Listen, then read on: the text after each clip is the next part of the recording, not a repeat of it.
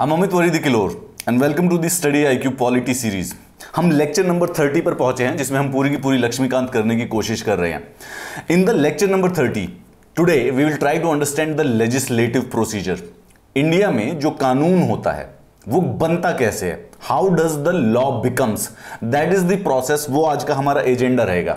Just to understand where we are हमारा locus क्या है, हम अंडरस्टैंड करते हैं लेक्चर नंबर 26 से। 26वें लेक्चर में हमने पार्लियामेंट के बारे में पढ़ना स्टार्ट किया था। And from there on parliament जो कि हमारी लक्ष्मीकांत का सबसे बड़ा और सबसे महत्वपूर्ण और जिससे सबसे मैक्सिमम नंबर ऑफ़ क्वेश्चन गलत होने की संभावना होती है, वो वाला चैप्टर है। पार्लियामेंट का चैप्टर हमने लेक्चर नंबर 26 से लेक्चर नंबर 30 में, यानी कि आज हमने कंप्लीट किया है। लेक्चर नंबर 26 और 27 में हम पार्लियामेंट के बारे में, कि वहाँ पर ऑर्गेनाइजेशन लोकसभा, राज्यसभा, उसकी मेंबरशिप क्वालिफिकेशंस उस पर प्रिजाइडिंग ऑफिसर्स कौन कौन से होते हैं स्पीकर चेयरमैन डिप्टी स्पीकर इनको सिलेक्ट कैसे किया जाता है, इनको हटाया कैसे जा सकता है, ये प्रोसेस हमने सीखे थे।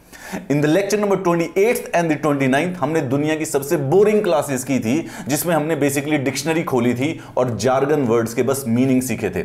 लेक्चर नंबर 28 में सेशंस ऑफ़ पार्लियामेंट यानी कि समन होना प्रोरोग होना डिजॉल्व होना, इस प्रकार से जो मीनिंग होते हैं। सिर्फ़ और सिर्फ़ dictionary meaning and similarly where the devices of the parliamentary proceedings equally the same thing कि भाई ज़ीरो आवर क्या होता है? क्वेश्चन आवर क्या होता है? ये मोशन प्रस्ताव रेजोल्यूशन ये कैसे इंट्रोड्यूस किए जाते हैं? व्हाट इज़ ऑल दिस ये होता क्या है? बहुत ही सरल था, बस थोड़ा सा बोरिंग था। इन द सेंस कि इट वॉज़ इंटरेस्टिंग बट उसको आपको विजुअली देखने में ज़्यादा मज़ा आएगा which I actually advise you to do so luckily enough we are far away from that now we are actually entering the territory of the more interesting and the fun conceptual issues again. Conceptual issues in the sense हम आज करेंगे legislative procedure we will try to understand कि देश के अंदर, भारत के अंदर हमारे यहाँ पर कानून कैसे बनता है। दो पार्लियामेंट जो भी सीख रहा है, पढ़ रहा है, उसको एक बार रेकमेंड वापस कर देता हूँ। लिंकन नाम की एक सिनेमा है 2012 में स्टीवन स्पीलबर्ग के द्वारा बनाया गया, जिसमें Daniel Day Lewis Abraham Lincoln का रोल प्ले करते हैं, वो ज़रूर देखिएगा। स्पेसिफिकली जिसको पॉलिटी पढ़ने में इंटरेस्ट है। उस पूरा का पूरा जो सिनेमा है, उसमें प्रीमाइस ये है कि जो कानून है स्लेवरी को अबॉलिश करने का जो कानून अमेरिका ने पास किया था, वो पूरा का पूरा वो प्रोसेस दिखाते हैं कि वो पास कैसे किया था। It's a brilliant movie you should watch it to understand the parliamentary proceedings India में कुछ कुछ उसी प्रकार का ऑलमोस्ट सिस्टम होता है लॉ को पास करने का। Let's start with the law process India okay legislation कानून बनाना। हमने जब पार्लियामेंट पढ़ना स्टार्ट किया था तो हम शुरुआत से जानते हैं कि हमारे जो गवर्नमेंट होती है, उनके तीन हमारे मेन एम है। एक तो एग्जीक्यूटिव हो गया, जो कि हम government council of ministers prime minister president और वाइस प्रेसिडेंट के द्वारा पढ़ चुके हैं। दूसरा हो गया लेजिस्लेटिव जो कि अब हम पार्लियामेंट के द्वारा पढ़ रहे हैं। इसके बाद आएगा judiciary will jump to there so आप लोगों ने जब भी आप लेजिस्लेशन में, जब भी आप पार्लियामेंट का चैप्टर पढ़ोगे तो दो वर्ड सुनाई देंगे। बिल और एक्ट एक्ट का मतलब होता है लॉ कानून बन जाना। और कानून बनने से पहले जो पेपर होता है या फिर जो जो डॉक्यूमेंट होता है, उस डॉक्यूमेंट को कहा जाता है बिल। यानी कि अगर आप किसी भी चीज़ को कानून बनवाना चाहते हैं you want something to be law तो आप क्या करेंगे?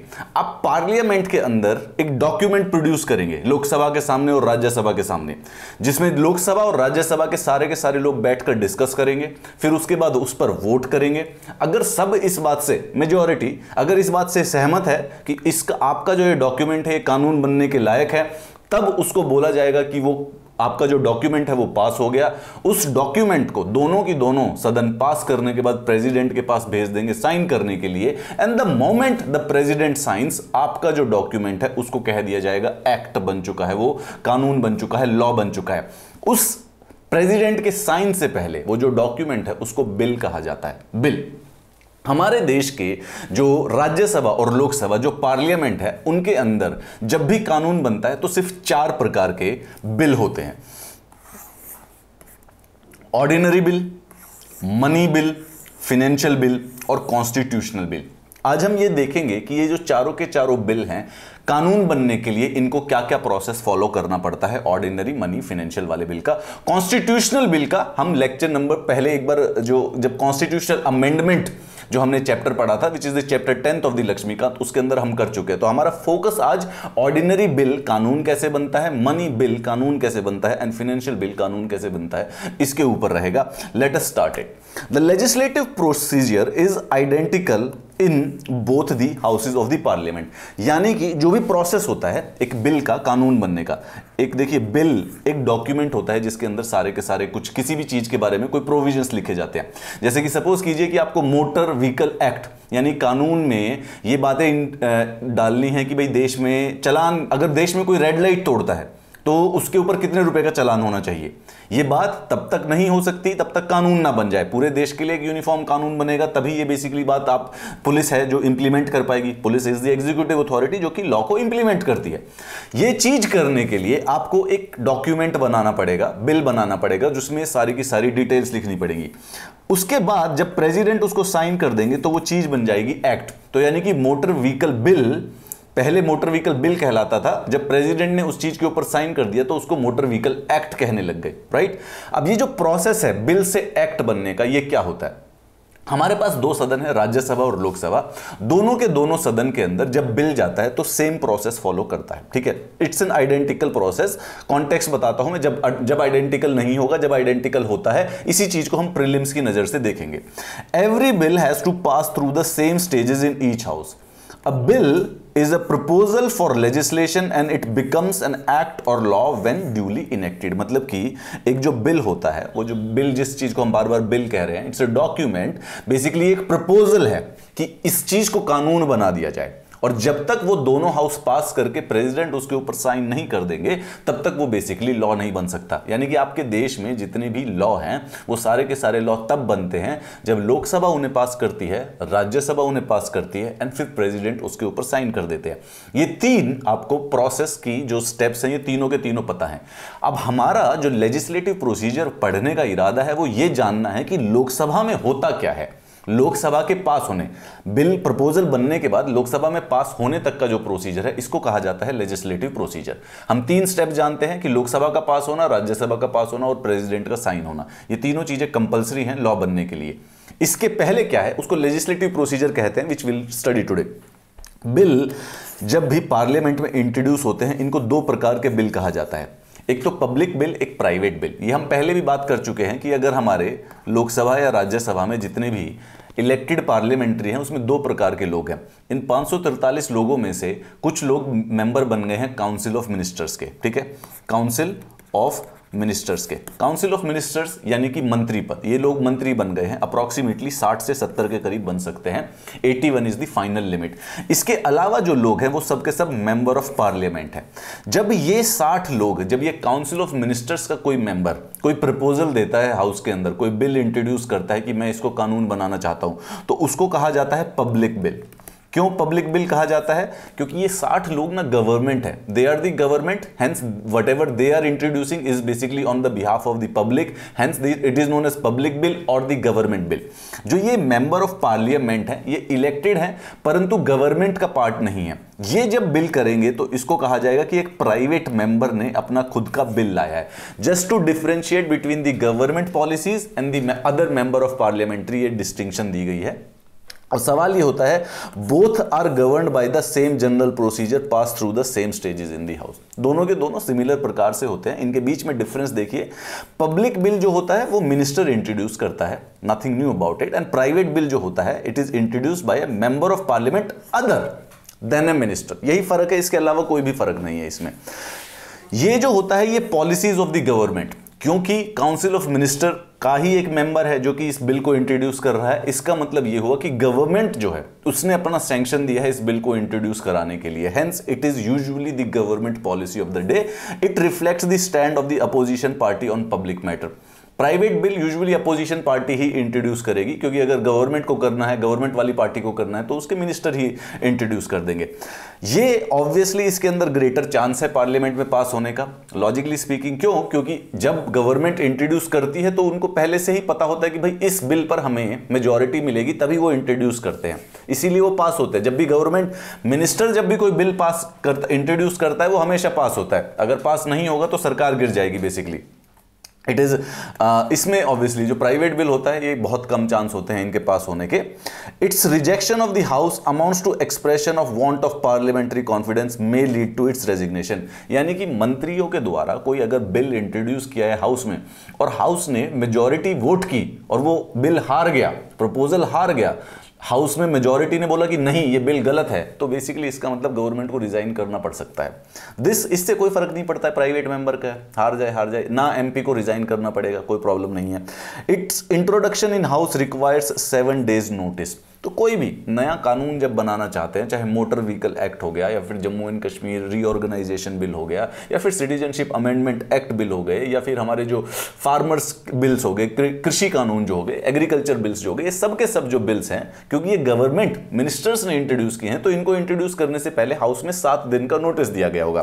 प्राइवेट वाले को एक महीने का देना पड़ता है। सिर्फ़ प्रीलिम्स के लिए इंपॉर्टेंट है नथिंग एल्स ओके कोई खास ज़रूरी नहीं है प्राइवेट बिल की कोई खास इंपॉर्टेंस नहीं है इन जनरल दिनों में। आप, कभी आपको पूरे पाँच साल में कोई इंट्रोड्यूस भी नहीं दिखेगा private bill so this is just from the prelims perspective it is drafted by the concern department in consultation with the law department इसको प्राइवेट मेंबर अपना स्वयं खुद करके ड्राफ्ट करके लाता है अपने साथ, अपने पर्सनली खर्चे पे, अपनी टीम के साथ मिलकर ठीक है? ये वाली बात होगी दैट इज़ इट इससे ज़्यादा इसके अधिक इसमें कुछ जानने की ज़रूरत नहीं है। सवाल ये है कि जो पार्लियामेंट के अंदर ये प्रपोजल आते हैं, कानून बनने के, ये टोटल चार प्रकार के प्रपोजल आते हैं। ठीक है? एक तो सबसे पहले ordinary bill which are concern with any matter other than the financial subject ध्यान से सुनिए टोटल ना कितने बिल हैं? उल्टा सीखते हैं पहले। सबसे पहले तो एक बिल होता है कॉन्स्टिट्यूशनल अमेंडमेंट बिल ठीक है? कॉन्स्टिट्यूशन संविधान को अमेंड करने, संशोधन करना है दैट इज़ वन बिल एक ये बिल हो गया, ठीक है? बस दिस इज़ इट दूसरा, एक जो कि पैसे से संबंधित हो मनी फाइनेंशियल मैटर से संबंधित हो, और एक जे एक दूसरा जो जिससे फाइनेंशियल मैटर से संबंधित हो। तो टोटल जो क्लासिफिकेशन है, ये तीन क्लासिफिकेशन है। यहाँ पर देखिए, तीन क्लासिफिकेशन के ऊपर आते हैं हम सबसे पहले। दिस इज़ इट तो एक तो हो गया constitutional amendment bill clear cut ठीक है? दूसरे वाला हो गया मनी बिल मनी मनी से ज़्यादा एक्चुअली में बेटर शब्द होगा कि ऐसा बिल जो कि पैसे से संबंधित हो फिनेंसिस से संबंधित हो. फिनेंसिस मनी ऐसा कुछ हो, ठीक है? दूसरा other than money other than money जिसमें पैसे से संबंधित ना हो। टोटल ये तीन बिल है, ठीक है? और यहाँ पर फिनेंशियल बिल में दो बिल आ गए। एक मनी बिल एक फाइनेंशियल बिल जो कि एक स्पेसिफिकली टेक्निकलिटी है हमारे कॉन्स्टिट्यूशन की मनी और फिनेंस में क्या फ़र्क होता है राइट इन दोनों को हम समझेंगे। तो टोटल हो गए चार ऑर्डिनरी बिल एक तो कॉन्स्टिट्यूशनल उसमें क्लियर कट है कि संविधान को अमेंड करने के लिए वो बिल आगे बढ़ रहा है। ऐसा कानून इंट्रोड्यूस किया गया है which will change the constitution done complete उसके बाद दो ही प्रकार के, या तो पैसे से संबंधित या पैसे से नहीं संबंधित। पैसा मतलब सरकार का जो पैसा होता है, उससे संबंधित या उससे नहीं संबंधित। टैक्स एक्सपेंडिचर रेवेन्यू इनसे संबंधित, या फिर उससे नहीं। अगर नहीं है तो वो ऑर्डिनरी बिल हो जाएगा। ठीक है? और अगर पैसे से संबंधित होगा तो फिर दो प्रकार से हो सकता है। एक तो मनी बिल हो सकता है और एक फाइनेंशियल बिल हो सकता है, जिनके बीच का जो टेक्निकल डिफरेंस है, वो हम आज देख लेंगे। ठीक है? अब सबसे पहले कॉन्स्टिट्यूशनल अमेंडमेंट बिल में कंफ्यूजन मत होइएगा। कॉन्स्टिट्यूशनल अमेंडमेंट बिल से संबंधित जो पूरा का पूरा चैप्टर है, हम पहले लेक्चर में कर चुके हैं। हमारा फोकस रहेगा सिर्फ़ इन तीन के ऊपर। And to be more precise legislative procedure जो होता है, वो दिन ब दिन ऑर्डिनरी बिल्स के कॉन्टेक्स में ही पढ़ा जाता है। ठीक है? ऑर्डिनरी बिल्स नाम ऑर्डिनरी है। लॉ ऑर्डिनरी नहीं होते हैं, ठीक है? लॉ एक्स्ट्रा ऑर्डिनरी भी हो सकते हैं, दुनिया भी बदल जाती है उन लॉ से। तो ऑर्डिनरी बिल सिर्फ़ कहने का मतलब है कि इन तीनों के अलावा जो बिल होता है, उसको ऑर्डिनरी बिल कहा जाता है। So first is ordinary second is money which is a technical definition हमारे आर्टिकल 110 के अंदर कॉन्स्टिट्यूशन में एक लिस्ट दी हुई है। उस टॉपिक से संबंधित कोई बिल है तो उसको मनी बिल कह देंगे। And then the financial bill उन टॉपिक से अलग कोई बिल होता है तो उसको फाइनेंशियल बिल कहा जाता है and then the constitutional amendment let's try to understand कि जो ये ऑर्डिनरी बिल होता है, ये पास कैसे किया जाता है? Which follows a very very simple तरीका, एक बड़ा सिंपल सा सिस्टम इनका काम करता है बिल को एंड दिस इज़ इट और पूरी क्लास खत्म हो जाएगी, ये अगर स्लाइड खत्म हो जाती है तो। देखियो बिल यानी कि प्रपोजल है, एक मिनिस्टर ने बनाया डॉक्यूमेंट बना लिया। उसको सबसे पहले जब पार्लियामेंट में इंट्रोड्यूस करते हैं हमारे जो स्पीकर हैं, तभी हमने उनके बारे में पढ़ा था, उनकी परमिशन से। फ़र्स्ट रीडिंग एक बार रीडिंग करते हैं विच इज़ टेक्निकली नाम से फ़र्स्ट रीडिंग का ये मतलब नहीं है कि सब बैठ के पढ़ रहे हैं। जो मिनिस्टर इंट्रोड्यूस करेगा, वो बेसिकली सपोज़ कीजिए अपना डॉक्यूमेंट लेगा और उसका टाइटल और उसका पर्पस पढ़ देगा। इस चीज़ को फ़र्स्ट रीडिंग कहा जाता है। सिंपल इससे ज़्यादा कुछ नहीं है। उसके बाद आगे बढ़ते हैं सेकेंड रीडिंग अच्छा ये पूरा का पूरा डिटेल्ड सिस्टम है। ये रीडिंग की बजाय ये और भी ज़्यादा डिटेल्ड एनालिसिस है, ठीक है? सेकंड रीडिंग का मतलब है कि जो डॉक्यूमेंट या जो बिल अब बिल ही बोलते हैं उसको डॉक्यूमेंट से कंफ्यूज ना हो जाए, जो बिल कोई भी मिनिस्टर इंट्रोड्यूस किया है, इस बिल को जनरल डिस्कशन करती है सारी की सारी लोकसभा, राज्यसभा बैठ के। एक कमेटी को दे दिया जाता है कमेटी उसको बारे में डिस्कशन करती है पूरा का पूरा, उसके हर एक क्लॉज को समझने की कोशिश करती है कि आखिर इस बिल में क्या लिखा गया है। और फिर कंसिडरेशन हमने ए, पिछले कुछ दो तीन लेक्चर्स में पढ़ा है ना कि वोटिंग होती है एक एक क्लॉज पे वोटिंग होती है फिर उसको क्लोजर कर देते हैं। पहले मोशन होता है सब्सटेंटिव मोशन फिर डिस्कस होता है उस टॉपिक के बारे में फिर उसके बाद उस मोशन को खत्म कर देते हैं क्लोजर मोशन वो जो होता है वो कंसिडरेशन का पार्ट होता है। काफ़ी लंबा है छः छः दो दो तीन तीन महीने भी चल सकता है ज़रूरत पड़ने पर but it takes like one two two three four five ten days कितना भी समय लग सकता है इसके अंदर। ये जब पूरा का पूरा बेसिकली ओरिजिनल जो लेजिस्लेटिव प्रोसीजर है वो सेकेंड रीडिंग ही है। ठीक है? उससे पहले तो बात की तो फॉर्मेलिटी है।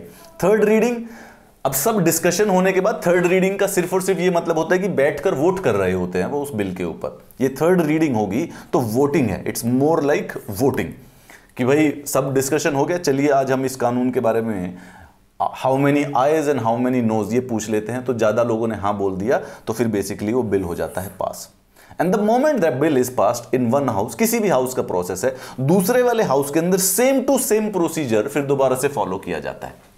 फिर दोबारा से दूसरा हाउस फ़र्स्ट रीडिंग में उसके टाइटल को बता दिया जाएगा, फिर सेकंड रीडिंग में उसको डिटेल डिस्कशन करेंगे। दूसरा हाउस भी अपनी एक कमेटी बैठा सकता है उस बिल के ऊपर डिस्कशन के लिए। And then the second house will again consider और फिर उसी प्रकार से जो हमने पहले प्रोसीजर सीखे हैं कि मोशन क्लोजर मोशन किस प्रकार से होता है बिगिन कैसी होती है डिस्कशन उन सबको फॉलो करके दूसरा हाउस भी पूरा का पूरा सेम प्रोसेस फॉलो करता है यहाँ से लेकर यहाँ तक का, और उसके बाद बिल को कर देता है पास ये दोनों पास कर देते हैं, फिर प्रेसिडेंट के पास बिल चला जाता है एंड प्रेसिडेंट बेसिकली इसको ऐसे बहुत ही अच्छी तरह से उसके ऊपर साइन कर देते हैं। साइन का मतलब प्रेसिडेंट का कि एसेंट ऑफ़ द बिल हो गया। बिल एसेंट हो गया तो मतलब बिल एक्चुअली में कानून बन चुका है। फ़र्स्ट रीडिंग ठीक है? क्या कहते हैं? An ordinary bill can be introduced in either house of parliament किसी भी हाउस में। अब ये याद रखते जाइए, कुछ बिल है जो कि सिर्फ़ लोकसभा में इंट्रोड्यूस होते हैं। ओके प्रिलिम्स की नज़र हमारी रहेगी हमेशा। Such a bill can be introduced either by a minister और एनी अदर मेंबर ठीक है, यानी कि ऑर्डिनरी बिल एक ऐसा बिल है जो कि ऑर्डिनरी है, बिल्कुल किसी भी हाउस में कर दो, लोकसभा में इंट्रोड्यूस कर दो, राज्यसभा में कर दो, कोई भी मिनिस्टर कर सकता है, कोई भी प्राइवेट मिनिस्टर कर सकता है। Nothing special about it member जो कि इंट्रोड्यूस करना चाहता है ask for the leave of the house अर्थात परमिशन ऑफ़ द हाउस पूछेंगे परमिशन ऑफ़ द हाउस का मतलब स्पीकर की परमिशन होती है। ये नहीं है कि पूरे हाउस से पूछना पड़ रहा है। स्पीकर से पूछा जाएगा। Speaker will be like introduce introduce when the house grants leave to introduce the bill the mover of the bill introduces it by reading its title and objectives बस, ये हो गया फ़र्स्ट रीड भाई speaker ने बोलिए कि चलिए ठीक है, आप एक नया प्रपोजल इंट्रोड्यूस कर रहे हैं। करिए आप। राजनाथ सिंह जी को परमिशन दे दी। डिफेंस का एक नया बिल इंट्रोड्यूस करना था।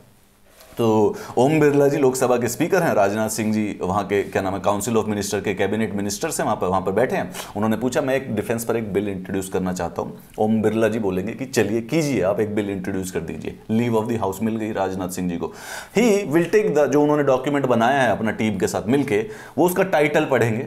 ये डिफेंस प्रोडक्शन प्रोक्योरमेंट बिल मेरे को इंट्रोड्यूस करना है। उसके ऑब्जेक्टिव्स बता देंगे। डन ये हो गया फ़र्स्ट रीडिंग डन हो गया। इसके बाद later no discussion on the bill takes place कोई डिस्कशन नहीं करेगा। सबको बस पता चल गया कि ऐसा नया बिल आ रहा है। The bill is published in the gazette of the India gazette of the India एक लीगल uh, डॉक्यूमेंट होता है गवर्नमेंट ऑफ़ इंडिया का। ठीक है?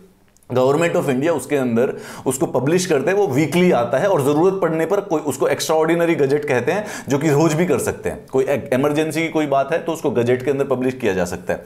तो याद रखिए, एक बार इसको वेबसाइट पर जाकर देखिए, ताकि आपको पता चल जाए ये चीज़ है क्या gazette of India and my question to you is that who publish it और कौन सी ministry it will be surprising to you कि ये कौन सी मिनिस्ट्री पब्लिश कर रही है इसको, क्योंकि इस मिनिस्ट्री का कोई लॉजिक बनता नहीं है गजेट को पब्लिश करने का। पब्लिश तो यूजुअली इंफॉर्मेशन और ब्रॉडकास्टिंग से संबंधित होना चाहिए। तो आपको ये जानना है कि गजेट कौन सी मिनिस्ट्री पब्लिश करती है? एक बड़ा छोटा सा प्रिलिम्स क्वेश्चन है। This will definitely come one way और दी अदर एक दिन में आने वाला है किसी भी दिन। कि गजेट कौन सी मिनिस्ट्री पब्लिश करती है? Have a look at it gazette weekly publish होता है, जिसके अंदर government it's a legal document of government अगर ज़रूरत पड़ते हैं तो इसको बीच में भी पब्लिश किया जा सकता है। उस समय उसको एक्स्ट्रा ऑर्डिनरी गजट कह दिया जाता है। गजेट के अंदर ये बिल पब्लिश कर देते हैं। और इस चीज़ को कहते हैं first reading if a bill is published in the gazette before the introduction leave of the house to introduce the bill is not necessary the introduction of the bill and its publication in gazette constitute the first reading of the bill ये समझो इस, इस, sentence को याद करो कि first reading of the bill क्या कहते हैं? Let me uh, ref- let me reframe a question of prelims to you okay? What is the first reading of uh, introduction of the bill statement to publication in the gazette और उसके बाद option दे दिया। Both A both B both A and B only A only B both A and B इस प्रकार से आप याद रखेंगे कि जो फ़र्स्ट रीडिंग है, उसमें पब्लिकेशन और in the gazette is also involve okay? जो कि यूजुअली दिमाग से स्किप हो जाएगा कि क्या लेना देना गजेट का हमारे पार्लियामेंट से बट यस इट्स का लेना देना होता है। अब आ जाते हैं सेकंड रीडिंग पे विच इज़ ट्रीमेंडसली नाउ यही, ये एक्चुअली में लेजिस्लेटिव प्रोसीजर है। It forms the most important stage in the enactment of the bill इतनी इंपॉर्टेंट है कि इसकी खुद की सब स्टेजेस है। यानी कि stage of general discussion committee stage और कंसिडरेशन स्टेज अच्छा इसमें कहने का क्या मतलब है कि जैसे ये जो बिल है, अब इंट्रोड्यूस हो चुका है और गजेट में पब्लिश हो। चुका है। अब क्या करेगी? जैसे लोकसभा में हम लोकसभा का एग्ज़ाम्पल ले रहे हैं कि राजनाथ सिंह जी ने एक बिल इंट्रोड्यूस किया है डिफेंस के बारे में डिफेंस से संबंधित। स्टेज ऑफ़ जनरल डिस्कशन में क्या होगा कि लोकसभा में बैठ के बातचीत करेंगे। बिल का एक क्लॉज पढ़ा जाएगा, उसके ऊपर कुछ कुछ व्यू पॉइंट्स दिए जाएँगे। जनरल डिस्कशन चल रही है, कोई ऐसा डिटेल नहीं है। फिर उसके बाद जल्दबाजी में फिर एक दूसरा। अगेन ये सब उसी प्रकार से हो रहा है जो कि हमने पहले पढ़े थे मोशन क्लोजर मोशन ये जो, क्या नाम है सब्सटेंटिव मोशन ये उसी से संबंधित है। इसीलिए पढ़ाए गए थे वो डिक्शनरी वर्ड्स जो थे कि क्या हो रहा है। ये जो वोटिंग का प्रोसेस होता है, ये मोशन पास हो गया। चलो भाई बात कर ली इसके बारे में, आपने ये डिस्कशन हो चुका है। चलिए again the only way to learn it so that you can actually solve the question in the prelims is to watch is to watch एक लोकसभा का सेशन देखिए। इसके बाद, इस क्लास के बाद एक लोकसभा का सेशन देखो बिल पास होने का। लाइव होता है, उनका प्रसारण आपको दिखेगा कि पता चल जाएगा कि ठीक है। And then once you remember it दोबारा कभी ज़िंदगी में नहीं याद भूलोगे। दूसरा, फिर कमेटी स्टेज अच्छा ये कमेटी स्टेज नहीं दिखेगी। ठीक है कमेटी स्टेज का क्या मतलब होता है? कि क्योंकि 540 लोग बैठ के कुछ खास डिस्कशन तो नहीं कर पाएँगे। So what happens is that Lok Sabha क्या करती है? उस बिल को, जो बिल इंट्रोड्यूस किया राजनाथ सिंह जी ने, और अच्छा क्योंकि भाई अपोजिशन वालों का भी तो अपोजिशन वाले भी मेंबर ऑफ़ पार्लियामेंट है। वो भी उतने ही महत्वपूर्ण है जितनी गवर्नमेंट महत्वपूर्ण होती है डेमोक्रेसी में। तो एक कमिटीज बिठाई जाती हैं। कमिटी में क्या होता है कि दस पंद्रह बीस लोग होते हैं, जिसमें रूलिंग पार्टी के भी लोग होंगे गवर्नमेंट के भी लोग होंगे, और साथ में क्या कहते हैं अपोजिशन पार्टी जो होते हैं, उनके भी लोग होंगे। तो ये पंद्रह बीस लोगों को ये बिल दे दिया जाता है कि आप इसको एनालाइज कीजिए। अब वो शिद्दत से बैठकर अपने ऑफ़िस में डिस्कशन करते हैं ब्यूरोक्रेट्स होते हैं, वहाँ पे अपने जो कैबिनेट सेक्रेटरीट के जो लोग होते हैं then they discuss each and every point in that committee वो कमिटी फाइनली बनाकर एक रिपोर्ट दे देती है। तो आप समझिए दो प्रकार से सिस्टम होगा। आप लोकसभा के एमपी हैं अब आप बैठे थे, सबसे पीछे बैठे हुए थे, आपने देखा कि राजनाथ सिंह जी ने एक नया लॉ इंट्रोड्यूस कर दिया है। बिल इंट्रोड्यूस किया लॉ इंट्रोड्यूस नहीं किया। बिल इंट्रोड्यूस कर दिया कि ठीक है, आपने टाइटल सुना पहली फ़र्स्ट रीडिंग में, पता चल गया। अब गजेट ऑफ़ इंडिया में प्रिंट भी हो गया। आपको ये पता चल गया कि ये कानून आने, ये बिल आने वाला है, ठीक है। अब दोबारा से पहले दिन स्टेज ऑफ़ जनरल डिस्कशन हुई। तो स्टेज ऑफ़ जनरल डिस्कशन में आप बातें कर रहे थे हाँ बता रहे थे अच्छा क्लॉज बताना अच्छा नहीं नहीं, मैं तो ये मानता हूँ कि ऐसा सही नहीं होगा, ये हो गया। फिर उसके बाद इस जनरल डिस्कशन के बाद इसको दे दिया जाएगा कमिटी स्टेज में। अब कमिटी स्टेज में दो ऑप्शन है। या तो आप खुद कमेटी के मेंबर हो। खुद कमेटी के मेंबर हो गए तो भाई आपको फिर वो डिटेल में पढ़ना है डिटेल में उसका क्रिटिसिज्म देना है, उसमें कुछ चेंजेस आप सजेस्ट करेंगे गवर्नमेंट को, कुछ गवर्नमेंट मानेगी, कुछ नहीं मानेगी। डिटेल में करने के बाद आप एक रिपोर्ट बनाएँगे। आप एक रिपोर्ट बनाएँगे और वो फिर सदन के सारे लोगों को वो दे देंगे। क्या नाम है? सबमिट कर देंगे, ये इस बिल के ऊपर रिपोर्ट है। दूसरी सिचुएशन ये थी कि आप कमेटी के मेंबर नहीं थे। तो अब आप कमेटी के मेंबर नहीं हो तो आपको सिर्फ़ वो रिपोर्ट मिलेगी। आप रिपोर्ट पढ़ के देख लोगे, छोटी मतलब आराम से। पचास पन्ने का जैसे कि भाई बिल था, आपने सिर्फ़ और सिर्फ़ बीस, पच्चीस पन्ने दस, पंद्रह पन्ने में जो रिपोर्ट थी वो पढ़ ली, आपने अपना मन बना लिया कि आप इसको सपोर्ट करेंगे या नहीं करेंगे and then the consideration stage consideration stage क्या होता है? हर एक जो क्लॉज होता है डिस्कस होता है और उस पर वोटिंग होती है कि ठीक है, ये वोटिंग है okay done agreed not agreed not agreed इस पर अग्रीड इस पर नॉट अग्रीड कंसिडरेशन स्टेज ये तीन स्टेजेस पास होती हैं सेकेंड रीडिंग की, जो कि बेसिकली पूरे के पूरे बिल को डिटेल में डिस्कशन करती है। इसके बाद आ जाता है third reading which is technically only confined to acceptance and the rejection of the bill as a whole and no amendments are allowed as the general principle underlying the bill have already been scrutinized during the stage of the second reading भाई second reading में complete focused detailed discussion amendment agreement जो भी चीज़ पे rejection है वो पूरी की पूरी हो चुकी है सारी की सारी लोकसभा के द्वारा सारे के सारे कमिटीज़ के द्वारा सो जब थर्ड रीडिंग आती है तो अब मोर और लेस सिर्फ़ वोटिंग की बात बची हुई है। अब आपके सामने जो स्पीकर होंगे, वो ये बात करेंगे कि क्या इस बिल को पास करना है या नहीं करना है। तो अब आपको यहाँ पर अमेंडमेंट नहीं सजेस्ट करनी। अब आप ये नहीं कहेंगे कि, सर बिल ठीक है बट इसमें एक बदलाव कर सकते हो क्या? नहीं, अब अब उसको चेंजेस नहीं होंगे। Debate is confined to acceptance और rejection of the bill as a whole अब आपका मन, क्योंकि तब तक इस पूरे के पूरे प्रोसेस में बन चुका होना चाहिए कि आपको ये बिल पूरा पसंद है या पूरा ना पसंद है। तो यहाँ पर सिर्फ़ येस और नो बचा है बिल के बारे में। If the majority of the member present and voting accept the bill the bill is regarded as passed by the house तो अब बिल वोट के लिए डाल दिया जाता है। थर्ड रीडिंग का मतलब क्या है? बिल वोट के लिए डाल दिया जाता है।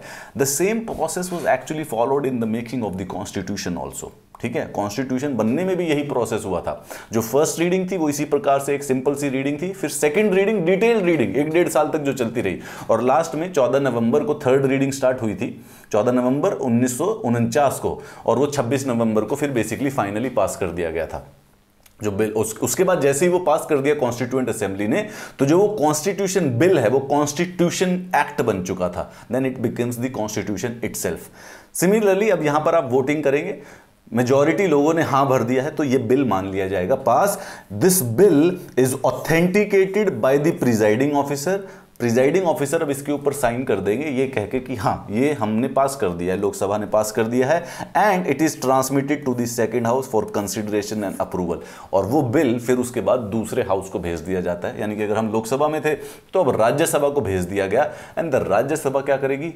Will follow the same process of the first reading फिर वो वहाँ पर उस समय बेसिकली दोबारा से पढ़ेंगे उसको, फिर दोबारा से गजेट में करेंगे, फिर दोबारा से सेकेंड रीडिंग होगी कमिटी डिस्कस करेगी कंसिडरेशन की जाएगी और उसके बाद देन थर्ड रीडिंग में वो वोट करेंगे।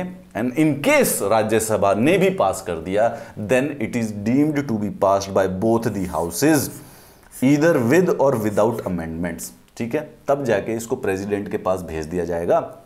Bill in the second house also passes through all the three stages. That is the first, second and the third reading. ठीक है?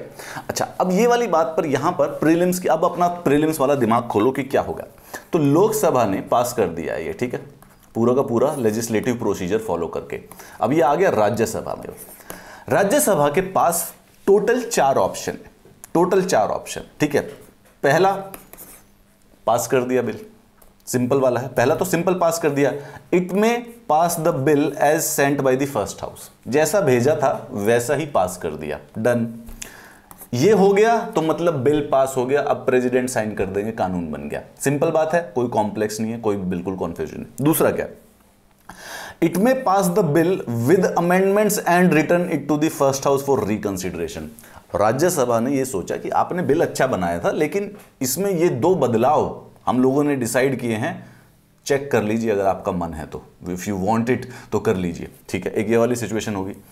It may reject the bill all together एक तो ये bill को reject ही कर देंगे। पास नहीं किया राज्यसभा ने। राज्यसभा बोलेगी, नहीं नहीं नहीं, तुमने किया, हमें पसंद ही नहीं आया। मेजोरिटी ने वोट किया एंड द राज्यसभा ने बेसिकली पास ही नहीं हुआ बिल तीसरी सिचुएशन चौथी it may not take any action thus keep the bill pending Rajya Sabha वाले बैठे हैं, सारे के सारे मेंबर ऑफ़ पार्लियामेंट बोले, हमें काम करना ही नहीं है। हम नहीं करते बोलो क्या करोगे? चार सिचुएशन ये एग्जिस्ट होती है, ठीक है। पहले वाला it may pass the bill as sent by the first house अगर उन्होंने पास कर दिया तो खत्म। फिर ये बिल हो गया है लॉ अब तो सिर्फ़ और सिर्फ़ प्रेसिडेंट के साइन है, वो हो ही जाते हैं, उसमें घबराने का ज़्यादा मुद्दा रहता नहीं है, ठीक है। लॉ बन गया। दूसरा it may pass the bill with amendments and return it to first house for reconsideration यहाँ पर देखिए क्या खेल हो सकता है। यहाँ पर दूसरे हाउस के पास, लोकसभा के पास वापस बिल गया। लोकसभा ने अमेंडमेंट देखी। अगर लोकसभा कहती है कि okay this amendments are okay तो फिर लोकसभा को दोबारा से प्रोसेस फॉलो नहीं करना है। ठीक है, फिर दोबारा से ये नहीं कि अब नई अमेंडमेंट आई है, इस अमेंडमेंट्स को भी डिस्कस किया जाए, इन अमेंडमेंट्स को भी पास किया जाए कंसीडर किया जाए वोटिंग किया जाए, नहीं। लोकसभा बिल आई कि ठीक है done we accept your amendment अगर मान लिया एक्सेप्ट कर लिया तो बिल पास हो गया और वो बन गया लॉ अगर लोकसभा बोली नो हमें तुम्हारी अमेंडमेंट नहीं पसंद है। एक तो ये सिचुएशन होगी अमेंडमेंट नहीं पसंद है, अब अटक गया। भाई, राज्यसभा ने पास तो किया है, लेकिन अमेंडमेंट के साथ किया है। लोकसभा ने पास किया है, लेकिन बिना अमेंडमेंट के पास किया तो इसका मतलब दो डिफरेंट काइंड ऑफ़ कानून, दो different kind of bill pass किए गए हैं, ठीक है? दूसरा लोकसभा राज्यसभा ने बिल की अमेंडमेंट अमेंडमेंट ही नहीं भेजी रिजेक्ट ही कर दिया। ये दोनों सिचुएशन इनका सिचुएशन का मतलब होता है डेड लॉक ये डेड लॉक क्रिएट हो गया। अब इस सिचुएशन में क्या किया जाए? लोकसभा ने पास कर दिया, राज्यसभा ने नहीं किया। लोकसभा ने पास कर दिया था, राज्यसभा ने पास किया है, लेकिन अमेंडमेंट के साथ। और लोकसभा कह रही है, हमें ये अमेंडमेंट नहीं माननी है। लोक, राज्यसभा बोलेगी तो हम तो अमेंडमेंट के बाद ही पास कर रहे हैं। दोनों के दोनों सिचुएशन में हो गया है लॉकडाउन ऐसी डेडलॉक सिचुएशन में लॉकडाउन वाली सिचुएशन में क्या किया जाएगा? ठीक है? And Rajya Sabha it may not take any action thus keep the bill pending इसके बारे में आते हैं। ठीक है? सबसे पहले second house pass is the bill without any amendment और the first house accept the amendment suggested the bill is deem to have the pass same is send to the president ये तो फ़र्स्ट सिचुएशन हो गई, जो हम repeat कर चुके हैं कई बार। Second house pass the bill without amendments बिना अमेंडमेंट्स के भेज दिया तो पास हो गया है। अमेंडमेंट्स के साथ भेज दिया, और लोकसभा ने मान लिया कि भाई अमेंडमेंट तुम्हारी है तो इन दोनों सिचुएशन में बिल प्रेसिडेंट को भेज दिया जाएगा। अच्छा if the first house rejects the amendments ठीक है? रिजेक्ट कर दी लोकसभा ने, हमें अमेंडमेंट नहीं माननी है। Second rejects the bill altogether or second house does not take any action for six months. A deadlock is deemed to have taken place. ये वाली जो सिचुएशन है it may not take any action thus keep the bill pending अगर ये छह महीने तक ऐसे कर दिया तो ये टोटल तीन सिचुएशन हो गई है डेडलॉक की। ठीक है? तीन सिचुएशन पहले वाली, जब राज्यसभा ने अमेंडमेंट करके भेजा है, लोकसभा ने अमेंडमेंट्स को रिजेक्ट कर दिया है। ठीक है? डेडलॉक दूसरा, राज्यसभा ने बिल ही पास नहीं किया। डेडलॉक तीसरा, राज्यसभा ने छह महीने तक कुछ किया ही नहीं बिल पे। तीन सिचुएशन हो जाएँगी डेडलॉक की। ऐसी सिचुएशन में when it comes to ordinary bill specifically याद रखिए when it comes to ordinary bill तो एक ज्वाइंट सिटिंग बिठाई जाएगी हाउसेस की। If the majority of the member present and the voting joint sitting में लोकसभा और राज्यसभा के सब के सब लोग बैठे हैं, इकट्ठे वोट करेंगे वो, ठीक है? इकट्ठे वोट करेंगे bill is deem to have been passed by both the houses. जैसे ही वो इकट्ठे वोट करेंगे तो बिल पास हो जाएगा दोनों के दोनों के द्वारा।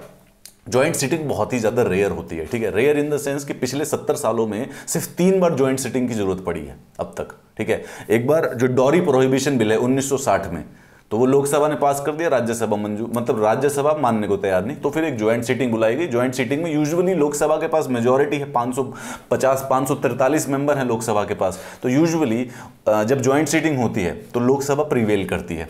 ठीक है? चलिए, देखें। नेवरदलेस किसी भी सिचुएशन में अब जब ये जॉइंट वाली सीटिंग आ गई तो यानी कि अगर हम देखें फिर दोबारा से, पहले वाली सिचुएशन में कानून बनना ही बनना है, दूसरे वाली सिचुएशन में अगर अमेंडमेंट मान मान ली तो कानून बनना ही बनना है। तीसरे वाली में जब अमेंडमेंट नहीं मानी, राज्यसभा ने जब बिल को रिजेक्ट कर दिया और राज्यसभा ने छह महीने तक कोई एक्शन नहीं लिया तो फिर ज्वाइंट सीटिंग करवाने के बाद ज्वाइंट सीटिंग में जो रिज़ल्ट आएगा वो फाइनल है। अगर ज्वाइंट सीटिंग में पास नहीं हुआ तो बिल कैंसिल और ज्वाइंट सीटिंग में पास हो गया तो भाई फिर लास्ट स्टेजेस पे assent of the president president के पास भेज दिया जाएगा। प्रेसिडेंट उसके ऊपर साइन करेगा। Every bill after being passed by both houses of parliament either singly और at a joint sitting is president is presented to the president for his assent it's as simple as that सरल बात है। कोई confusion है ही नहीं ना, और it is so much fun to understand this इसके तीन अल्टरनेटिव हैं। अब प्रेसिडेंट के पास तीन अल्टरनेटिव आ गए। प्रेसिडेंट पहले तो क्या है?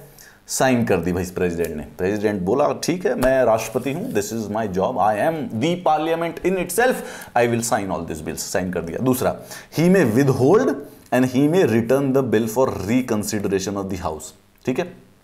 जैसे ही प्रेसिडेंट साइन करेंगे बिल बन जाएगा लॉ इमीडिएटली प्रेसिडेंट का sign bill is equal to law bill is equal to act सरल बात है, ठीक है? एक तीसरे वाली सिचुएशन में जब वो रिकंसिडरेशन के लिए भेज सकते हैं बिल को, ज़रूरत पड़ने पर, वो रिकंसिडरेशन के लिए भेजेंगे। दोबारा से अगर लोकसभा और राज्यसभा ने पास कर दिया उस बिल को देन अब कंपलसरी है। Now he will have to sign it he will have to give an assent दोबारा में ये नीचे वाला ऑप्शन ही खत्म हो जाएगा। दोबारा में सिर्फ़ और सिर्फ़ ही में गिव ओनली वन ऑप्शन बचेगा। ही मे नहीं he have to give assent to the bill एक बार रिकंसीडर होने के बाद जो बिल आया है।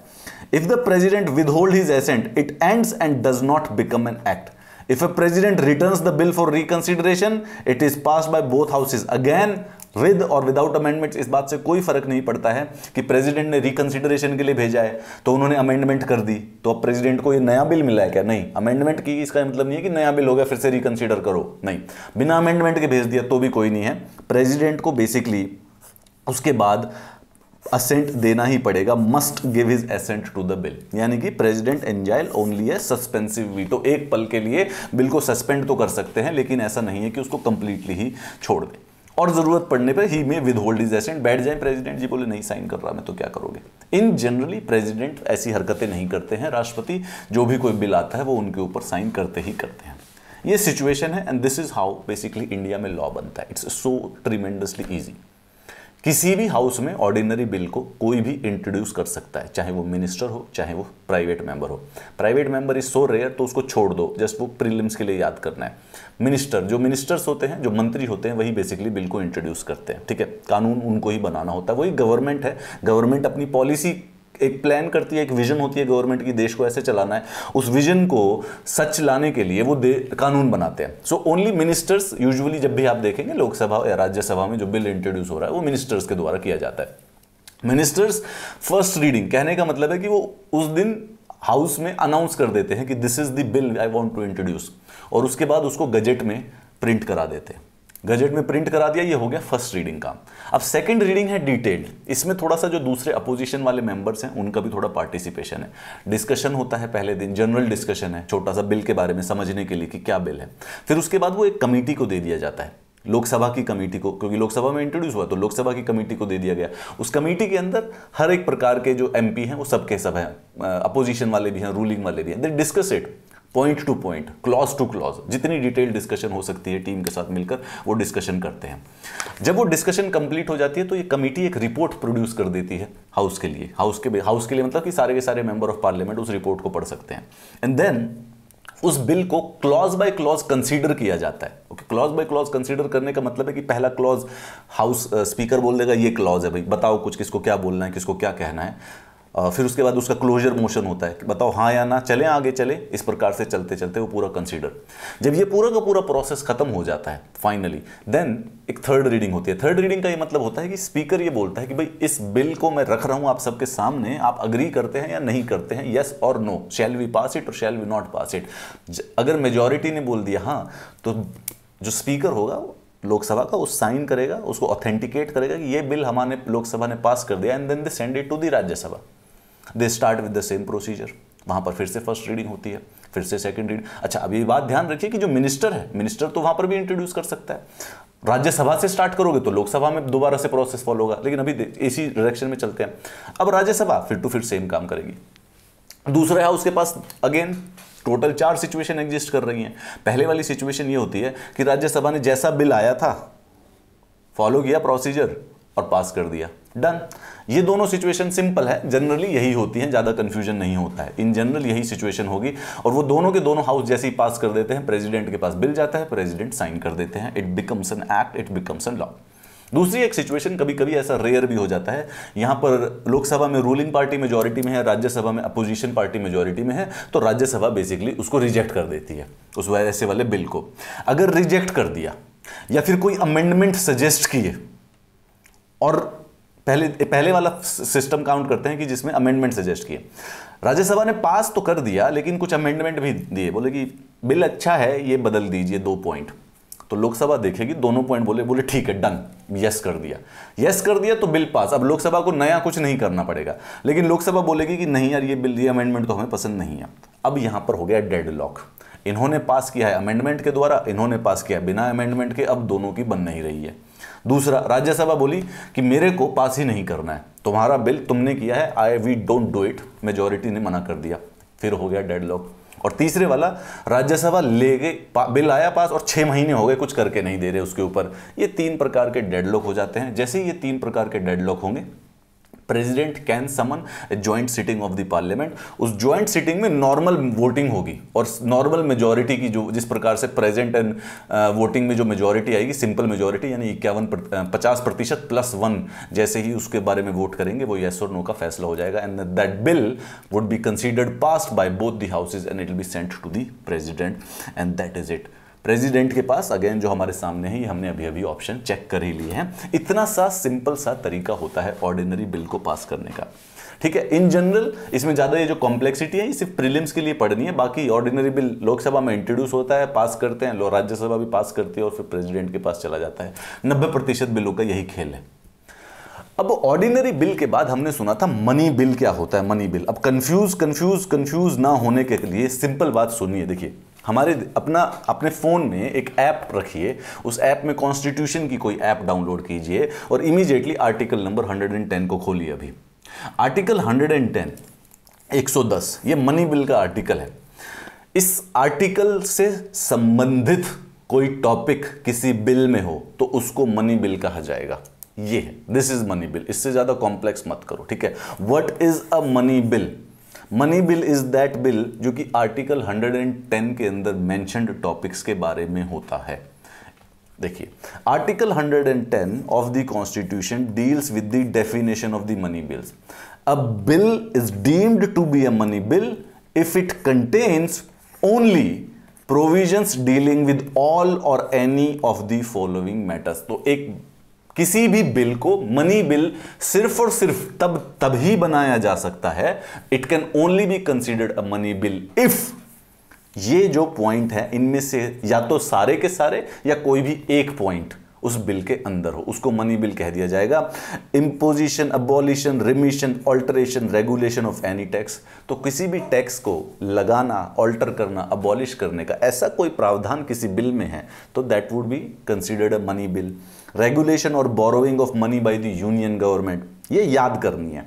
क्यों याद करनी है? प्रिलिम्स में पूछा नहीं है इतना डीप जाके, पर UPSC is running out of polity questions and each and every year इधर they jump to a very complex conceptual idea और they jump deep into the polity constitution के अंदर घुस जाते हैं। तो ये बात अब आपको, आपकी जिम्मेवारी है कि आप याद करें कि 110 में मनी बिल होने के लिए कौन कौन सी चीज़ें दी हुई हैं?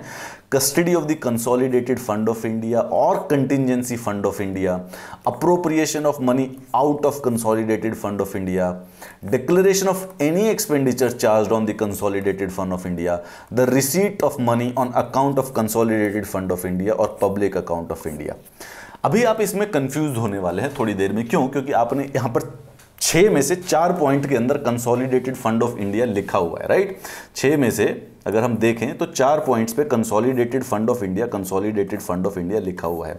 अभी आएगी कंफ्यूजन मैं बताता हूँ आगे क्या होगा। Well nevertheless for now just try to understand money bill वो बिल होता है जो कि आर्टिकल नंबर 110 में मेंशनड टॉपिक से रिलेटेड हो।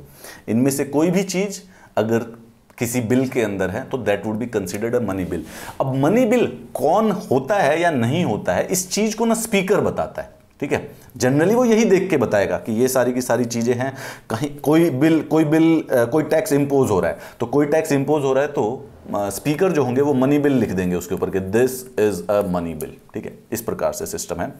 If a question arises whether a bill is money bill और not the decision of the speaker is final ठीक है? Decision of the speaker is final Lok Sabha के speaker याद रखिए not Rajya Sabha only Lok Sabha सिर्फ़ लोकसभा के स्पीकर का ही है यहाँ पर। मनी बिल के बारे में हम क्यों पढ़ रहे हैं? क्या खास बात क्या है इसमें? इसमें खास बात यह है कि इसमें राज्यसभा के पास ज़्यादा पावर नहीं है। ऑर्डिनरी बिल में ना बराबर का खेल था। जो लोकसभा करती थी, वही राज्यसभा करती थी। राज्यसभा पास ना करे तो बिल अड़ गया, नहीं पास होगा।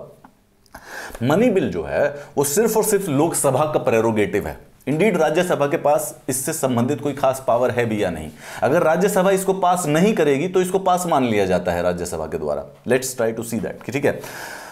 तो मनी बिल सबसे पहले सिर्फ़ लोकसभा में इंट्रोड्यूस होगा ओके इंट्रोड्यूस होगा, ये मनी बिल है या नहीं, इस बात को स्पीकर बताएगा। स्पीकर विल से कि this is a money bill और not depending on the article 110 के वो सात पॉइंट है, वो देखेंगे कि इसमें से कोई भी, या तो सारे, या कोई भी एक पॉइंट अगर इस बिल के अंदर है so this is a money bill and अगर वो किसी चीज़ को मनी बिल कह दे, इस चीज़ को चैलेंज नहीं किया जा सकता। समटाइम्स क्या होता है कि कुछ लोग, कुछ इस प्रकार से सिस्टम होता है कि जैसे एक बिल था आधार से संबंधित बिल था, ठीक है? आधार बिल जो था, गवर्नमेंट के सामने समस्या ये थी कि लोकसभा में उनके पास मेजोरिटी थी, लेकिन राज्यसभा में उनके पास मेजोरिटी नहीं थी। और ऐसा संभावना थी कि राज्यसभा में जो अपोजिशन है, इस बिल को रोकने की कोशिश करेगी। तो इस बिल को, आधार बिल के अंदर एक ऐसा प्रोविज़न ऐड कर दिया गया कि इसको मनी बिल डिक्लेयर कर दिया। मनी बिल आधार वाले बिल को। कि इसमें कोई टैक्स कलेक्शन का इशू उन्होंने कोई प्रावधान डाल दिया तो इसको क्या नाम है मनी स्पीकर ने मनी बिल डिक्लेयर कर दिया। अब जैसे ही मनी बिल डिक्लेयर कर देते हैं तो राज्यसभा खत्म, राज्यसभा का कोई रोल ही नहीं रह जाता। तो लोकसभा मेजोरिटी है रूलिंग पार्टी की, राज्यसभा अपोजिशन की है, लेकिन मनी बिल डिक्लेयर होते ही राज्यसभा का रोल खत्म तो अब वो कुछ कर ही नहीं सकते थे। इस प्रकार से आधार बिल बेसिकली पास कर दिया जाता है कभी कभी कभी कभी अब when a money bill is transmitted to Rajya Sabha for recommendation and presented to the president speaker endorses it is a money bill constitution ने एक स्पेशल प्रोसीजर लिखा हुआ है। क्या? सबसे पहले तो it can only be introduced in the Lok Sabha simple clear that two on the recommendation of the president दो क्राइटेरिया प्रीलिम्स में याद रखोगे कि सबसे पहले तो मनी बिल अगर इंट्रोड्यूस होगा तो उसको सिर्फ़ और सिर्फ़ लोकसभा में एंड ऑन द रेक ऑर्डिनरी बिल में नहीं था ये? ऑर्डिनरी बिल में रिकमेंडेशन नहीं चाहिए थी हमें राष्ट्रपति जी की। यहाँ पे चाहिए every such bill is considered to be a government bill and can be introduced only by a minister every such bill is considered to be a government bill and can be introduced only by a minister. अब speciality देखी ना धीरे धीरे आपको speciality दिखने लग रही है। कि भाई मनी बिल और ऑर्डिनरी बिल में क्या क्या फ़र्क है? पहले तो सिर्फ़ लोकसभा में इंट्रोड्यूस होता है फिर सिर्फ़ रेकम, बिना रिकमेंडेशन ऑफ़ प्रेसिडेंट होते ही नहीं है। Which doesn't apply to ordinary third all money bills are government bills on money bills can only be introduced by a minister अब देखो मनी बिल जब पास कर देती है लोकसभा, जो कि अभी हमने पूरा का पूरा first reading second reading third reading का प्रोसीजर देखा तो अब गए राज्यसभा के पास। अब यहाँ पर जो राज्यसभा के पास है ना ऑर्डिनरी बिल का कॉन्सेप्ट नहीं लग रहा है। यहाँ पर कुछ और, देखिए, Rajya Sabha has restricted power it can not reject bill reject ही नहीं कर सकती वो। मतलब कर दिया तो मानेंगे नहीं, हमें कर दिया तो मतलब दे भी लाइक कि हमने सुना ही नहीं है पास कर दिया आपने।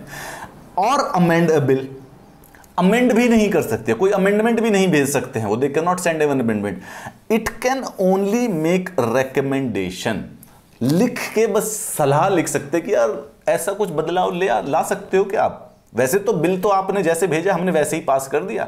But we figured if you might add this it would be very great ऐसा बस रेकमेंड करेंगे. It must return the bill to Lok Sabha within fourteen days whether with or without recommendation तो ऑर्डिनरी बिल में जो नीचे की जो तीन डेडलॉक की सिचुएशन थी, वो तीनों की तीनों हटा दी गई हैं यहाँ पे मनी बिल से। वहाँ पर ऐसा था कि लोकसभा लोकसभा से बिल जब राज्यसभा गया तो वो छह महीने तक कुछ नहीं करते तो डेडलॉक होता था। यहाँ पे मनी बिल जब राज्यसभा के पास जाएगा तो चौदह दिन के अंदर अंदर आपको बिल वापस भेजना है। अगर आपने नहीं भेजा तो हमें, हम मान लेंगे कि पास कर दिया। खुद ही मान लेंगे। वो वाली बात है कि मान लेंगे कि पास कर दिया। फ़ोन नहीं किया तो दोस्ती टूट गई, ऐसी सिस्टम हो जाएगा। यहाँ पे it can not reject or amend a money bill ना राज्यसभा के पास गया, ना वो रिजेक्ट कर सकती है, ना वो अमेंड कर सकती है, वो सिर्फ़ पास कर सकते हैं। बस रेकमेंडेशन ये बस इतना ही है। सलाह का सलाह सलाह ले सकती है। राज्यसभा सिर्फ़ सलाह दे सकती है मनी बिल के ऊपर। बियॉन्ड दैट इनका कोई लेना देना नहीं है। Lok Sabha can either accept or reject all of the recommendation अगर रिकमेंडेशन लिखी है, सलाह लिखी है, राज्य लोकसभा चाहे तो मान लेगी, नहीं मानेगी तो भी मतलब कोई फ़र्क ही नहीं पड़ता है। लोकसभा ने एक्सेप्ट कर दिया recommendation bill is deem to pass Lok Sabha does not accept any recommendation bill is then deem to have pass by both the houses ठीक है? तो ये सिंपल सी बात है कि टेक्निकली मनी बिल सिर्फ़ और सिर्फ़ ना लोकसभा को पास करना होता है, बस। इसमें आपको प्रीलिम्स की नज़र से ये देखना है कि क्या क्या होता है। लोकसभा ने पास कर दिया, राज्यसभा के पास चौदह दिन का समय ओनली फोर्टीन फोर्टीन के बाद नहीं। अगर फोर्टीन दिन तक राज्यसभा ने कुछ नहीं किया तो बिल कंसिडर्ड पास अगर राज्यसभा ने रिजेक्ट कर दिया, कर ही नहीं सकते bill is considered to be passed amend कर ही नहीं सकते bill is considered to be passed recommendation भेज सकते हैं, बस थोड़ी सी सलाह ले सकते हैं। अगर वो सलाह राज्य, लोकसभा के पास वापस आई, पढ़ी उन्होंने, उनको पसंद नहीं, बोलो, छोड़ो इसको पास उनको लगा कि ठीक है, ले लो इसको, पास अच्छा अच्छा सलाह दिया इस बार यार रख लो इसको तो भी pass. In every situation money bill is completely prerogative of the Lok Sabha Rajya Sabha has no role to play into it ठीक है? Rajya Sabha does not return the bill within fourteen days bill is deem to have been passed by both the houses that Lok Sabha has more powers than Rajya Sabha with regard to a money bill इसमें तो कोई शक की बात रही नहीं है। On the other hand both the houses have equal powers ordinary bill में बराबर है। अगर लोकसभा से पास हुआ और राज्यसभा से रिजेक्ट हुआ है तो बिल फंस गया फिर वो। फिर तो अब डेडलॉक हो चुका है। लाउ दो हाउसेस बुलाओ फिर दोबारा से joint sitting बिठाओ। When money bill is presented to the president अच्छा मनी बिल के कॉन्टेक्स्ट में क्या होता है ना कि आपने अभी अभी बात किया कि जो मनी बिल है, वो इंट्रोड्यूस गवर्नमेंट ने किया है तो वो तभी गवर्नमेंट इंट्रोड्यूस करती है जब प्रेसिडेंट रेकमेंड करते हैं। तो ऐसी चीज़ को प्रेसिडेंट क्यों विदहोल्ड करेंगे? जो खुद की पूछ, जो उसकी परमिशन से हो रही है। तो ऐसा संभावना एग्जिस्ट नहीं करता है। इट्स काइंड ऑफ़ बस legal it's not even a loophole it's just a circle which exist which is non usable तो जब प्रेसिडेंट होते हैं ही में इधर give is assent to bill और withhold is assent to bill but can not return the bill for the reconsideration देखिए money bill में लोकसभा की कितनी ज़्यादा पावर दी गई है। इसमें प्रेसिडेंट भी रिकंसिडरेशन के लिए नहीं भेज सकता। प्रेसिडेंट भी सिर्फ़ ऑर्डिनरी बिल को भेज सकता है। ट्राई टू अंडरस्टैंड अच्छा प्रेसिडेंट के पास दो पावर दे रखे हैं। या तो प्रेसिडेंट बिल के साथ तीन चीज़ें करता है। साइन करता है या एसेंट को विद होल्ड कर लेता है या फिर रिकंसिडरेशन के लिए भेज देता है। मनी बिल आया तो ये रिकंसिडरेशन का ऑप्शन ही नहीं है। विद होल्ड इज़ एसेंट है और एसेंट वाला है। अब विद होल्ड इज़ एसेंट छोड़ रखा है। Legally withhold is assent है। क्वेश्चन अगर प्रीलिम्स में पूछा जाए तो सोचना कि president can withhold his assent for the money bill legally ऐसा एग्जिस्ट करता है। Okay this is a prelims trick okay लेकिन प्रैक्टिकली स्पीकिंग जो लॉ उसकी ही परमिशन से इंट्रोड्यूस किया गया था, उसको वो क्यों असेंट करने से रोकेगा? तो सारे मनी बिल हमेशा प्रेसिडेंट साइन करते ही करते हैं, कोई चांस नहीं होता है। Normally the president give his assent because it was introduce in the parliament with his prior permission simple बात है। अब आ जाते हैं मनी बिल से एक जो थर्ड टाइप का राइट उसके बाद चौथा तो कॉन्स्टिट्यूशनल बिल है which we know to amend the constitution जिसका एक अलग से प्रोसीजर दे रखा है हमारे आर्टिकल नंबर डिफरेंट 368 के अंदर राइट अब हम स्पेसिफिकली जो थर्ड वर्जन आ गया फाइनेंशियल बिल अच्छा फाइनेंशियल बिल में कैटेगरी को समझने के लिए समझिए कि money bill is a financial bill ठीक है? फाइनेंशियल बिल तीन टाइप के होते हैं. Number one money bill number two financial bill one number two financial bill three ठीक है? तो money bill is just one special kind of financial bill भाई फिनेंसेस यानी रेवेन्यू और एक्सपेंडिचर अब रेवेन्यू एक्सपेंडिचर होता तो मनी से ही है, पैसे से ही होता है। तो ये क्लासिफिकेशन को समझने की कोशिश करो क्या सिस्टम बड़ा कंफ्यूजिंग सा है, परंतु देखोगे तो इतना भी नहीं है। हम सबसे पहले पढ़ते हैं ऑर्डिनरी बिल के बारे में। ऑर्डिनरी बिल वो होता है जो कि पैसे से संबंधित नहीं होता है और संविधान के संशोधन से संबंधित नहीं होता है। मतलब सारे बिल ऑर्डिनरी बिल हैं। इसके अलावा एक संविधान से संशोधित है उस, उसको डायरेक्ट होता है कॉन्स्टिट्यूशन से अमेंड कर रहा है दैट इज़ इट अब इसके अलावा एक और बिल है मनी से रिलेटेड तो सबसे पहले वो जो मनी से रिलेटेड है यानी फिनेंसिस से रिलेटेड रेवेन्यू और एक्सपेंडिचर से रिलेटेड इसमें तीन प्रकार के बिल आते हैं। नम दो प्रकार के आते हैं सॉरी नंबर वन मनी और number three financial financial itself is divided into financial one and financial two ठीक है? क्या क्या फ़र्क है इसमें? मनी बिल वो बिल होता है जिसके अंदर आर्टिकल नंबर 110 वाले टॉपिक हो। ठीक है? और फिनेंशियल बिल वो होते हैं जिसके अंदर आर्टिकल नंबर 117 वाले टॉपिक हो। 117 provision one clause one financial bill two 117 clause three financial bill two क्या फ़र्क क्या इसके अंदर? ये देखो देखो, अगर यहाँ पर देखोगे तो इसमें सबसे पहले फ़र्क भी यही निकलेगा। देखिए। इसके अंदर अगर हम फ़र्क देखेंगे क्या होगा कि money bill is kind of a financial bill यानी every money bill is the financial bill however every financial bill is not a money bill money bill का सिंपल क्राइटेरिया 110 में जो लिखा हुआ है वही होना चाहिए। या तो सब उसमें इंक्लूडेड है, एक भी टॉपिक इंक्लूडेड है तो मनी बिल हो जाएगा। दूसरा फाइनेंशियल बिल वन कौन सा होता है? मनी बिल वाले topic plus consolidated fund of India से रिलेटेड और टॉपिक इसमें प्लस मनी बिल से रिलेटेड इशू होते हैं। मनी बिल के तो होंगे ही होंगे, और भी इश्यूज़ संबंधित है तो उसको financial bill and financial bill two वो होता है, जिसमें मनी बिल से रिलेटेड कोई इशू ना हो, और उसके अलावा सारे issue no issues related to the article number 110 anything else money article 110 के अलावा कोई भी फाइनेंशियल इश्यूज़ हैं तो वो फाइनेंशियल बिल टू आर्टिकल 110 के अलावा और कुछ कुछ और भी इश्यूज़ है। वो फाइनेंशियल बिल वन आइए इसको देखते हैं। कंफ्यूजन होने की संभावना नहीं है। Financial bill are those bill that deals with physical matters that is revenue और एक्सपेंडिचर ठीक है? लेकिन कॉन्स्टिट्यूशन स्पेसिफिकली इस बिल को एक टेक्निकल फॉर्म में यूज़ करता है। पहले तो क्या? तीन काइंड के होते हैं। Money bill article number 110 financial bill one article number 117 clause one and financial bill two article number 117 clause number three तो ये दोनों आर्टिकल्स के बारे में आप एक बार याद रखेंगे 117 वन एंड 117 थ्री ठीक है? ये दो आर्टिकल हैं जो कि हमारे दो प्रकार के फाइनेंशियल बिल्स के बारे में बात करते हैं। 110 मनी बिल के बारे में बात करता है और 117 फाइनेंशियल बिल्स वन और फाइनेंशियल बिल्स टू के बारे में बात करता है। ठीक है? Classification imply that the money bills are simply a species of financial bill ठीक है? मनी बिल एक प्रकार का फाइनेंशियल बिल ही होता है। उस स्टेटमेंट को इस प्रकार से बोलेंगे every money bill is a financial bill whereas every financial bill is not a money bill simple statement है। ठीक है? They are also certified by the speaker of lok sabha as money bills, the financial bill 1 and 2 on the other hand have dealt with the article 17 तो ये जो है certification कौन ले रहे हैं? स्पीकर ऑफ़ द लोकसभा अब स्पेसिफिकली यहाँ पर जो प्रिलिम्स में क्वेश्चन पूछा जाएगा ना वो ये पूछा जाएगा कि आखिर ये दोनों फाइनेंशियल बिल का डिफरेंस क्या होता है मनी बिल से? What exactly is the difference that is the key here right चलिए उसको देख लेते हैं। सो so, यहाँ पर इस सेंटेंस को फिर से याद करो। Only those financial bills are money bills which contain exclusively those matters which are mentioned in article 110 of the constitution article 110 के जो मैटर्स हैं, वो जिस भी बिल में है, उसको मनी बिल रजिस्टर कर दिया जाएगा ऑथेंटिकेट कर दिया जाएगा स्पीकर के द्वारा. Now let us see what is financial bill one क्या होता है ये? That contains not only any or all the matters mentioned in article 110 but also others matter of general legislation. यानी कि plus money bill plus money bill वाले तो issue हैं इसके अंदर आर्टिकल 110 वाले इश्यूज़ हैं, कोई प्रॉब्लम नहीं है। उसके साथ साथ जनरल लेजिस्लेशन के भी इशू है। तो इसको फाइनेंशियल बिल क्रेडिट किया जा सकता है। A bill that contains a borrowing clause but does not exclusively deal with the borrowing तो जो बिल एक्सक्लूसिवली बोरोइंग से डील करता है तो बोरोइंग अभी अभी हमने देखा कि आर्टिकल 110 में लिखी हुई है। तो जो एक्सक्लूसिवली बोरोइंग से डील करेगा, वो तो हो जाएगा मनी बिल परंतु एक ऐसा बिल जो कि बोरोइंग से भी डील करता है, और उसके साथ एक्स्ट्रा और भी कई सारे से उसके अंदर प्रोविज़न है, उसको हम बोल सकते हैं फाइनेंशियल बिल वन क्या सिमिलैरिटी क्या है? दोनों के दोनों can only be introduced in Lok Sabha.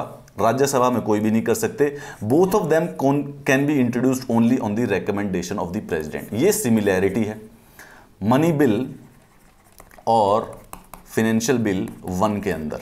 दोनों के दोनों लोकसभा के ही हैं बिल और कहीं के नहीं हैं। और दोनों के दोनों सिर्फ़ और सिर्फ़ रिकमेंडेशन ऑफ़ प्रेसिडेंट के ऊपर ही आते हैं। इंटरेस्टिंगली बात ध्यान को, याद को रखिएगा, ठीक है? दूसरा, बाकी जो प्रोसेस है वो ऑर्डिनरी बिल वाला है। इसके अलावा ऐसा नहीं है कि इसको राज्यसभा रिजेक्ट नहीं कर सकती अमेंड नहीं कर सकती। बियॉन्ड दैट बस this is just only trick एक ही ट्रिक है कि आएगा लोकसभा में, पर राज्यसभा का इसके ऊपर बराबर का हक होता है। In case of disagreement both the house president can summon a joint sitting of the two houses to resolve the deadlock ठीक है? तो जब आएगा same to same process ordinary bill वाला exact same to same procedure है। ठीक है? अच्छा अब दूसरा financial bill two financial bill two contains provision involving expenditure from consolidated of fund of India but does not include any of the matters mention in article hundred and ten यानी minus money bill consolidated fund of India से related issues हैं, बस वो चार issues नहीं है जो कि आर्टिकल 110 में है। तो ऐसी चीज़ को हम कहते हैं फाइनेंशियल बिल टू बस इतना ही है। और कुछ नहीं है। It is an ordinary bill technically all respect it is govern by the same legislative procedure which is only applicable to ordinary bill बस इसमें एक ही स्पेशल फीचर है। कि it can not be passed by the either house of the parliament unless the president has recommended to that house the consideration of the bill कहने का क्या मतलब है? आप जब बिल को पास करने का प्रोसेस देख रहे थे तो फ़र्स्ट रीडिंग होती है और सेकेंड रीडिंग होती है। सेकेंड रीडिंग तीन सब उसमें सब उसके अंदर सब रीडिंग्स के अंदर डिवाइडेड है। पहली जनरल डिस्कशन दूसरा कमिटी और तीसरा कंसिडरेशन तो जो ये कंसिडरेशन का प्रोसेस है ये जब तक प्रेसिडेंट रेकमेंड नहीं करेंगे फाइनेंशियल बिल टू के बारे में, तब तक अलाउड नहीं होता है। यही स्पेशलिटी है। Only special feature it can not be passed by either house of the parliament unless the president has recommended to that house for the consideration of the bill hence financial bill two can be introduced in either house of parliament recommendation of the the is not necessary for for introduction introduction. This is is tremendously system which ever they have developed and why they have developed is no logic behind it क्यों? क्योंकि ये बड़ा confuse करने के लिए जब इसका और कोई काम नहीं है, बस हम लोगों को कंफ्यूज करना है। एक है मनी बिल ये है इनका सबसे स्पेशल बिल ठीक है? 110 आर्टिकल में जो भी चीज़ें लिखी गई हैं, सात चीज़ें लिखी गई हैं, वो सारी की सारी या उसमें से कोई भी एक अगर किसी बिल के अंदर आती है तो उसको कह सकते हैं हम मनी बिल ठीक है? मनी बिल कह देंगे स्पेशलिटी है। लोकसभा में ही इंट्रोड्यूस होगा प्रेसिडेंट की रिकमेंडेशन पर इंट्रोड्यूस होगा। Rajya Sabha has no powers at all as far as the money bill is concern except वो रिकमेंडेशन दे सकते हैं। और वो भी लोकसभा के ऊपर है, माने ना माने। ठीक है? Nothing to on it more importantly president भी इसको रिकंसीडर नहीं करवा सकता है। प्रेसिडेंट को भी बस इस पर बेसिकली साइन ही करने होते हैं। क्योंकि उनकी रिकमेंडेशन से आते होते तो साइन करते हैं। तो मनी बिल तो बन गया भाई एक्सक्लूसिवली लोकसभा का प्रेरोगेटिव ठीक है? इसके बाद आता है फाइनेंशियल बिल वन इसमें स्पेशलिटी है क्या? होता ये लोकसभा में इंट्रोड्यूस है, आता ये भी प्रेसिडेंट की रिकमेंडेशन से है। इसके अलावा जो प्रोसेस है, वो सारा का सारा बस फिर आ जाएगा ऑर्डिनरी वाला। फिर सब ऑर्डिनरी बिल बन रहे। फिर उसके बाद कोई खास चीज़ नहीं है। राज्यसभा चाहे तो कैंसिल कर दे, नहीं कर दे। इसके बाद है financial bill two financial bill two is a ordinary bill इसके अंदर कोई खास बात नहीं है। इसके अंदर सिर्फ़ एक स्पेशल खास बात है कि इसको कंसीडर जब किया जाता है, वो सेकंड रीडिंग का जो कंसिडरेशन का पार्ट है, वो तभी किया जाता है जब प्रेसिडेंट रेकमेंड करते हैं। प्रेसिडेंट की रेकमेंडेशन के बिना आप इसको कंसीडर नहीं कर सकते हैं लोकसभा या राज्यसभा के अंदर। चाहे लोकसभा में इंट्रोड्यूस कर दो, चाहे राज्यसभा। पूरा ऑर्डिनरी बिल है कंप्लीट सिर्फ़ एक स्पेशल बात है कंसिडरेशन वो जो सेकंड रीडिंग की जो लास्ट स्टेज है उसको प्रेसिडेंट की परमिशन चाहिए। इंट्रोड्यूस बिना पर, बिना प्रेसिडेंट के कर सकते हैं आप। आप बिल को कर दो इंट्रोड्यूस हाउस में। फ़र्स्ट रीडिंग करवा लो सेकंड रीडिंग करा लो कमिटी से डिस्कस करा लो कोई इशू नहीं है। But while considering that house president will first recommend पहले प्रेसिडेंट बताएँगे कि चलिए आप कर लीजिए कंसीडर तब उसके पास। बस ये स्पेशल बात है। अच्छा मनी बिल क्या है? वो है जिसके अंदर सिर्फ़ और सिर्फ़ 110 के जो प्रोविज़न है वो। फाइनेंशियल बिल क्या है? 110 के कोई हैं और उसके साथ साथ जनरल लेजिस्लेशन के भी हैं। और फाइनेंशियल बिल टू क्या है? कंसोलिडेटेड फंड ऑफ़ इंडिया से रिलेटेड जो भी चीज़ 110 में नहीं है, बाकी सारी की सारी फाइनेंशियल बिल टू होती है। दैट इज़ इट इतना ही है। ये है हमारे टोटल हमने दो प्रकार के बिल देखे फाइनेंशियल बिल और मनी बिल जो पास होते हैं। तो मनी बिल हमने ऑर्डिनरी प्रोसेस देख लिया है राइट कंप्लीट कैसे होता है? उसके बाद मनी बिल का सबसे ज़्यादा स्पेशल प्रोविजंस है मनी बिल का, ठीक है? उसके बाद हमने फाइनेंशियल बिल के दोनों के दोनों प्रोसेस टेक्निकली ऑर्डिनरी बिल की तरह है कंप्लीटली लेकिन फाइनेंशियल बिल वन में एक खासियत है कि उसको सिर्फ़ लोकसभा में प्रेसिडेंट की रिकमेंडेशन पर ही इंट्रोड्यूस कर सकते हैं। बाकी सिस्टम ऑर्डिनरी बिल का फॉलो करेगा।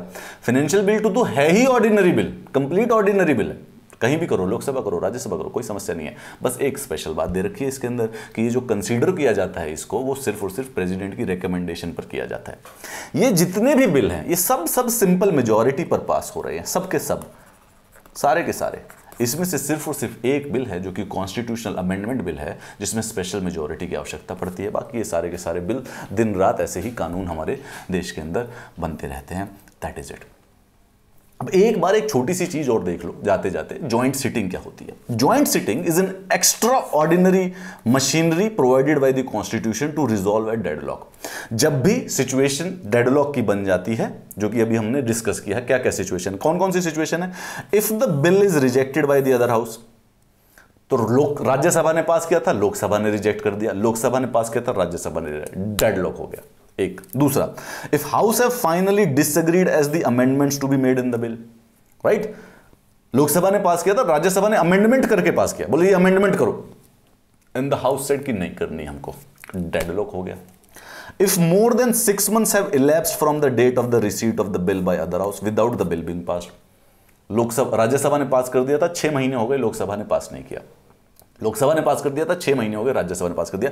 ये तीनों सिचुएशन हमें एक क्रिएट करती हैं, एक सिचुएशन जिसको कहा जाता है डेड लॉक इस डेड लॉक को खत्म करने का एक तरीका बनाया गया है joint sitting of the two houses जिस दिन दोनों के दोनों हाउस इकट्ठे बैठेंगे। अच्छा कमाल की बात देखिए कि मनी बिल में ये हो नहीं सकता है।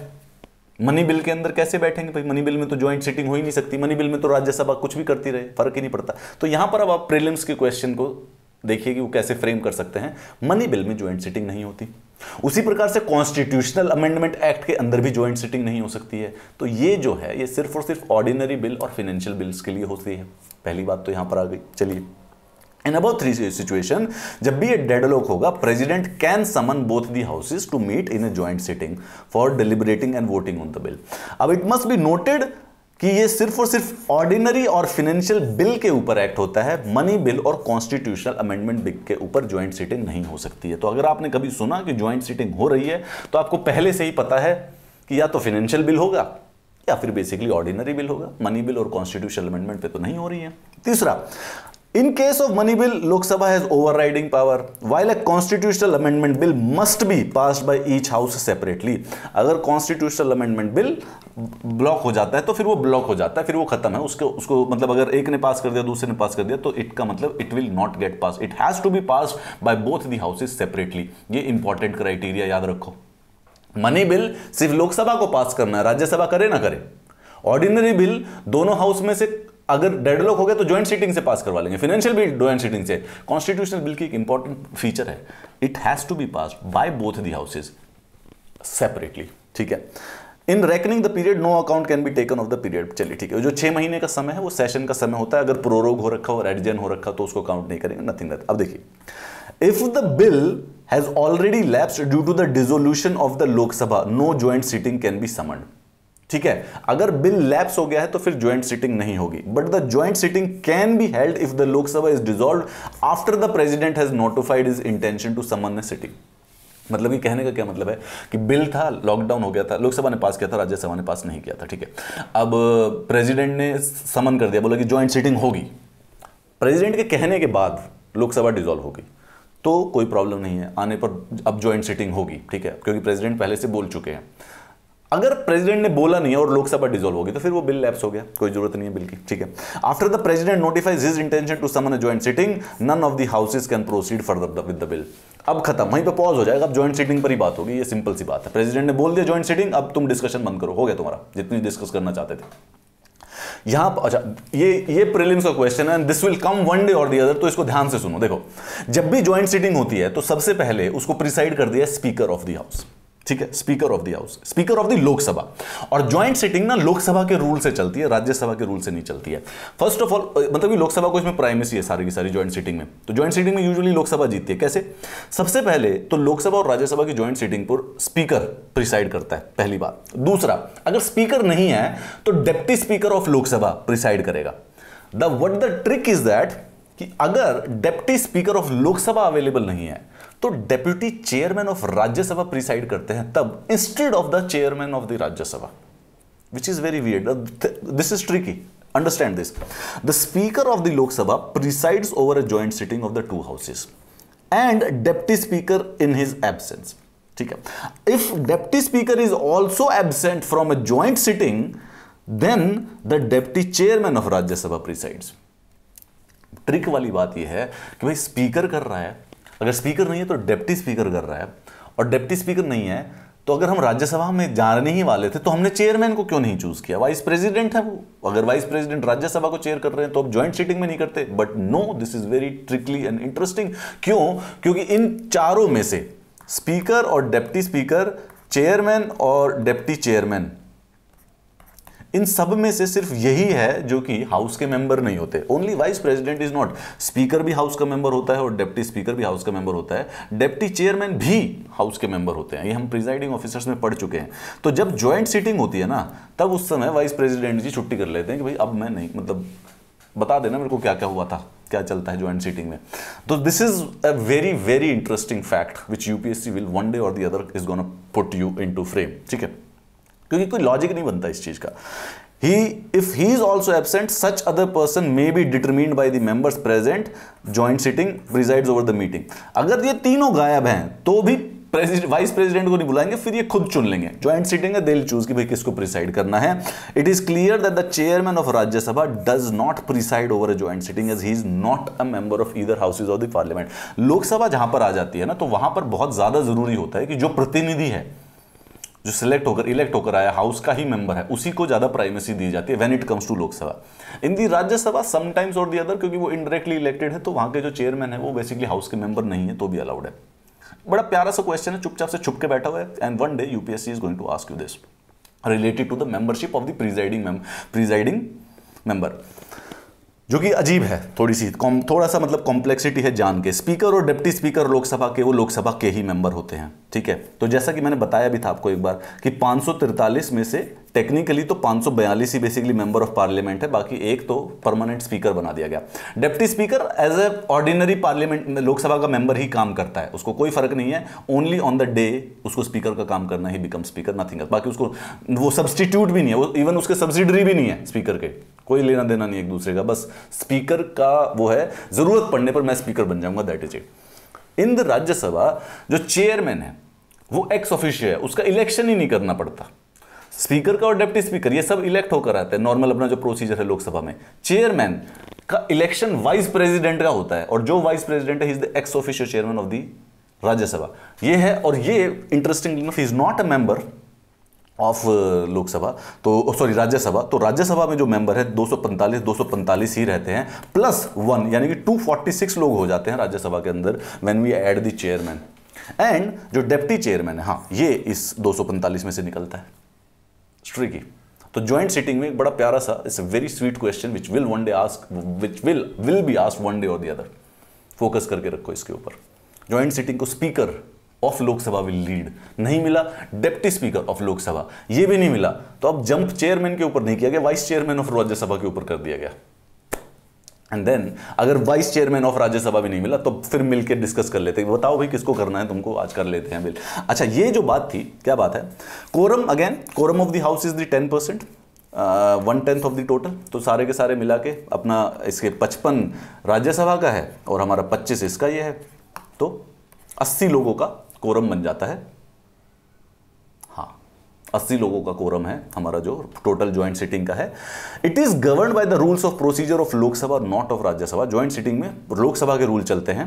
If the bill is in dispute is pass by a majority तो बस बिल पास हो गया। Normally the Lok Sabha with greater number wins has rare है 1950 से लेकर आज तक सिर्फ़ तीन बार ज्वाइंट सिटिंग हुई है। Dowry prohibition bill banking service 1977 में और प्रिवेंशन ऑफ़ टेररिज्म बिल 2002 में। ये तीनों के तीनों पास किए गए थे joint sitting of the bill के द्वारा। Right this is what the legislative procedure of the our constitution of our parliament is इसके साथ साथ हमने अभी अभी एक नोटिस किया था कि जब हम सेकंड रीडिंग कर रहे हैं राइट सेकंड रीडिंग कर रहे हैं। तो बीच में जनरल डिस्कशन के बाद जीडी के बाद एक कमेटी स्टेज आती है right right?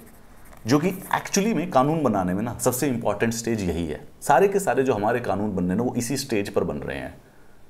In the lecture number 31 we will discuss about the parliamentary committees ये होती क्या है? पार्लियामेंट्री कमिटीज क्या होती है? Which of them are most powerful one कौन सी स्टैंडिंग कमेटी है? ये हम कंपैरिजन करेंगे, ये हमने पढ़ा था कैबिनेट कमिटीज के कॉन्टेक्स्ट में राइट कैबिनेट कमिटीज, जो कि हमारे जो कैबिनेट मिनिस्टर्स हैं, टोटल बाईस हैं इसमें कैबिनेट मिनिस्टर्स, उनमें से तीन से आठ लोग मिलकर एक कमेटी बना लेते हैं पर्टिकुलर इशू को डिस्कस करने के लिए। उसी प्रकार से पार्लियामेंट के अंदर भी पार्लियामेंट्री कमिटीज होती हैं, right? These are actual places where democracy या फिर बेसिकली लोकतंत्र या फिर डिस्कशन डिबेट आर्ग्यूमेंट और ये जो चीज़ें जो होती हैं, वो असली में यहाँ हो रही है। बाकी तो जो न्यूज़पेपर हेडलाइन है, वो तो ऐसी चल रही है।